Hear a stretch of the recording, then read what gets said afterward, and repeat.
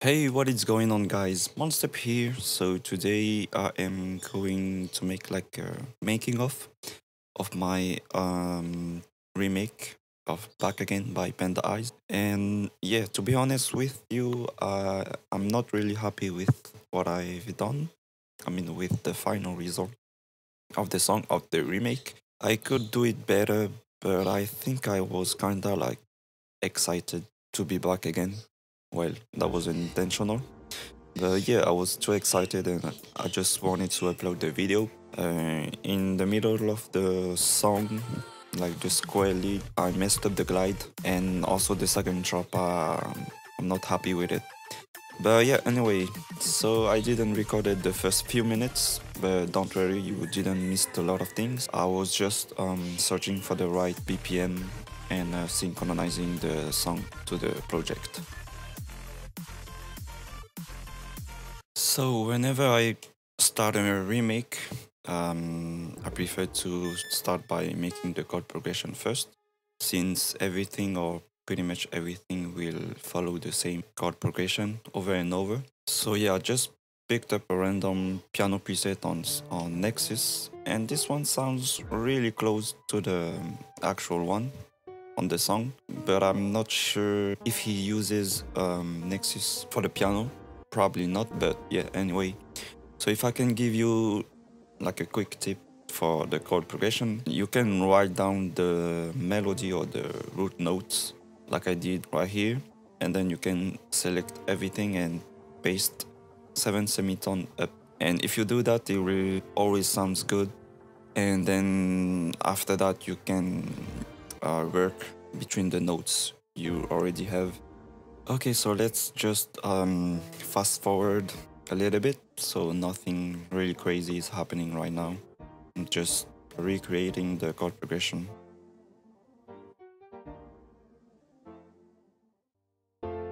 So this is what I have so far.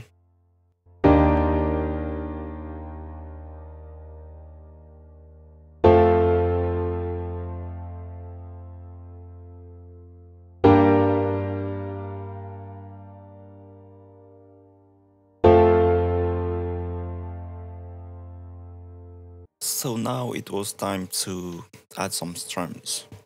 So the shortcut for the strum machine, I think it's Alt plus S.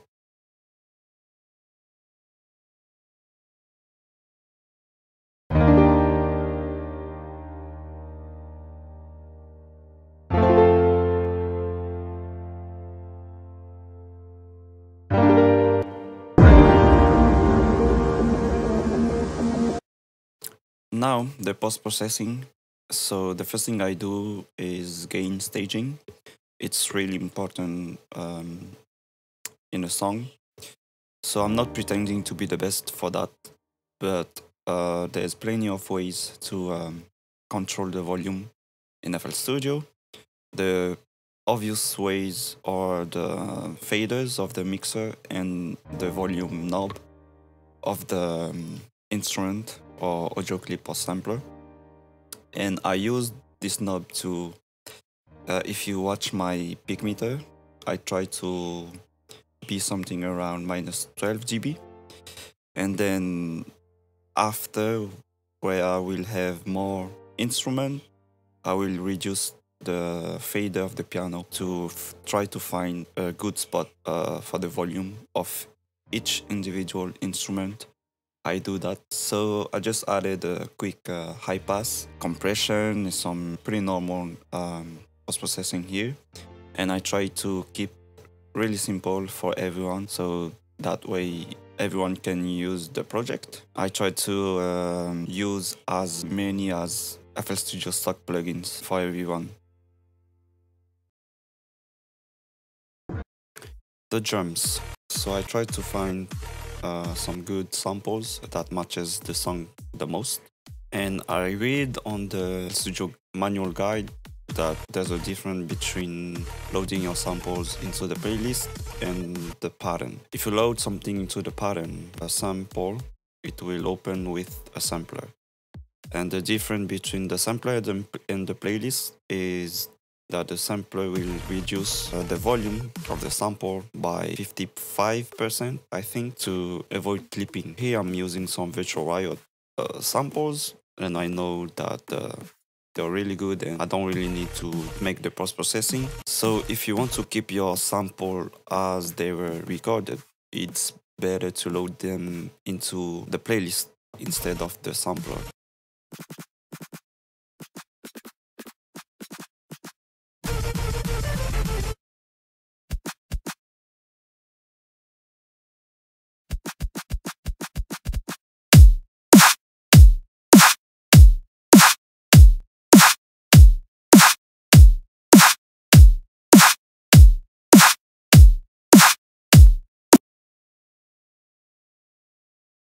As earlier, once again, gain staging. So I'm reducing the volume around minus 12 dB. And yeah, I don't really need to do so much for the post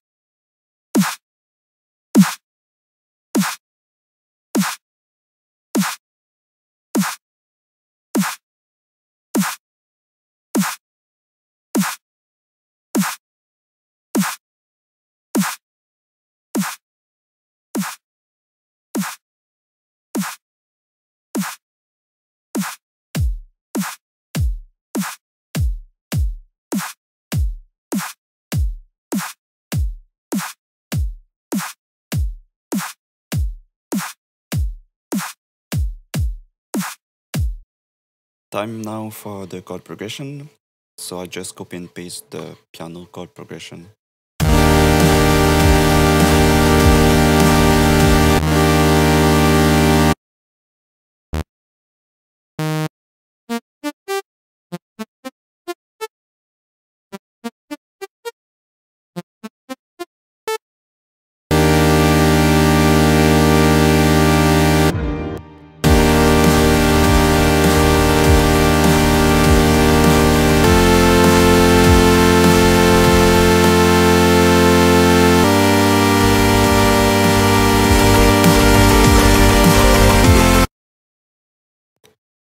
Chopping chords is really also really important.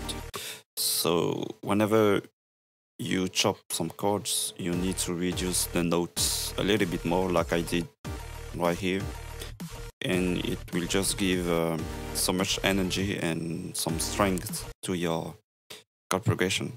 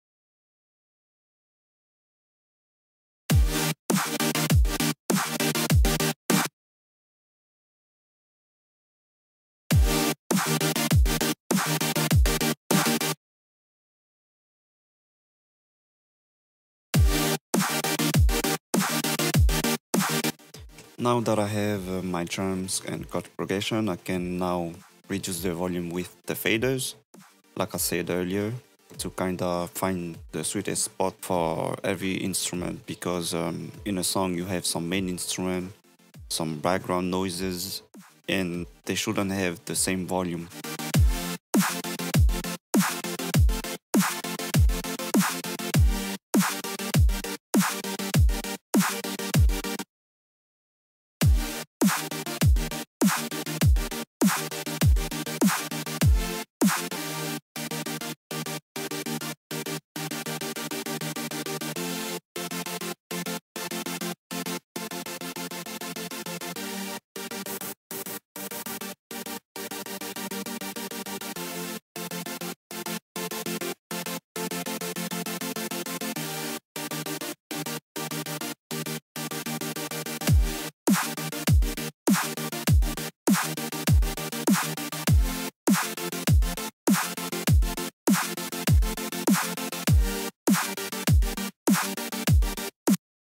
For the bass, it's uh, the same thing, just copy and paste uh, the lowest notes.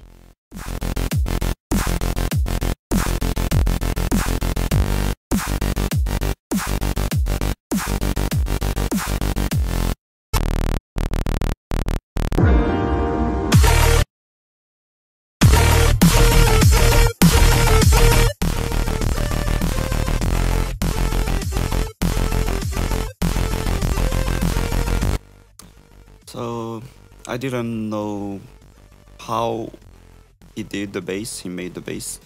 I was just like messing around, but the only thing I know was that I wanted something really growly.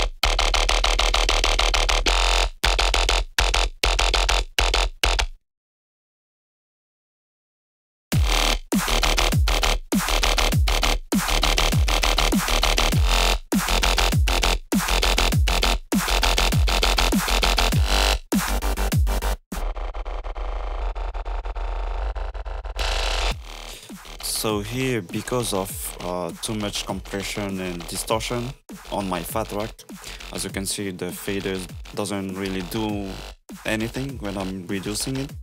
So uh, what I do is that I usually consolidate uh, all my basses, everything I put on my fat rack, I just consolidate, and that way I can change the volume of it.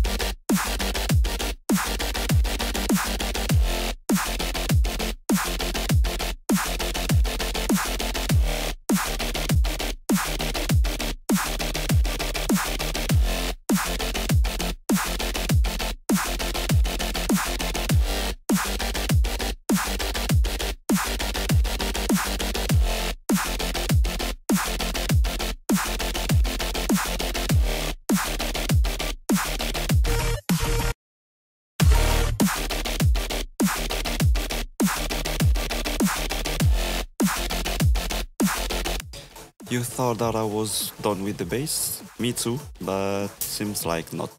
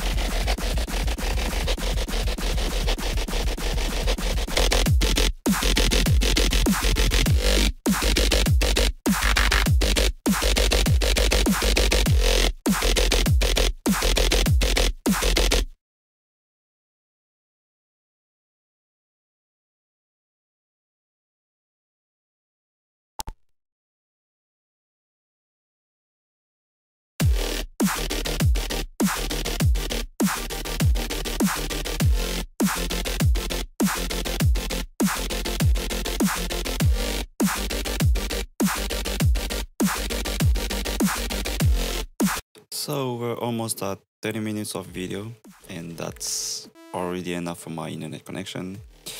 And yeah, I will stop right there, and I will see you into the next episode.